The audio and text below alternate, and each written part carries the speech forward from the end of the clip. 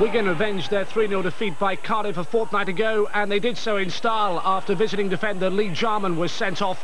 Wigan took control with two goals in two minutes. Kevin Sharp's low drive deflected in, and then Spanish winger Isidro Diaz, who'd been sent off in their recent meeting, crossed for Mark Leonard to rise unchallenged as the Cardiff defence went walkabout.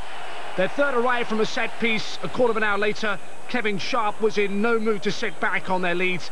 He most certainly meant business as he unleashed a shot full of venom. Steve Flack, playing his first full game for Cardiff, did reduce the deficit in the closing minutes, but the reply came too late to make any difference.